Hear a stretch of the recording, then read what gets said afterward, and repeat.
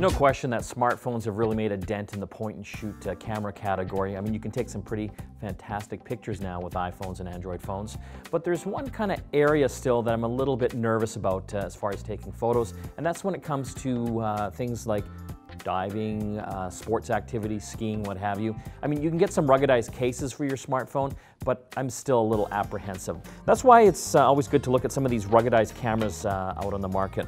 This is uh, a new one from Nikon. It's uh, part of their Coolpix line, their AW130. And this is a nice little camera for taking out on the go with you. This thing is uh, shockproof, so you can actually drop it from up to seven feet without having to worry about breaking it. And uh, what I like as well is that it's waterproof, and uh, what sets it apart is that it goes deeper than a lot of the other cameras in this category. This particular uh, camera can go up to 100 feet deep, which is uh, great news for a lot of the recreational divers uh, out there. On the back there, it's got a nice large uh, color screen here, so you can see all the photos as you're taking it.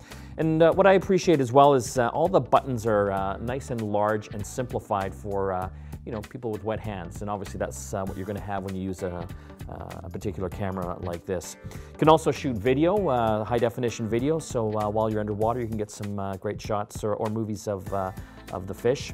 And it also has uh, wireless connectivity. So if you want to uh, take advantage of sharing those, uh, those photos and videos once you've taken them, you can actually download uh, an app uh, for your, uh, your smartphone, whether that's iPhone or Android, and wirelessly transfer them through the Wi-Fi connection right to your smart device and obviously share them on things like Instagram and Facebook. It also has NFC capability as well. So for a lot of those phones out there, especially on the Android side, makes it super simple to connect up.